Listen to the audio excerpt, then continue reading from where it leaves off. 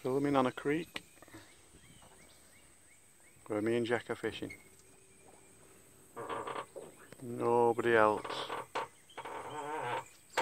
anywhere. With the cows. With the cows and the wildlife.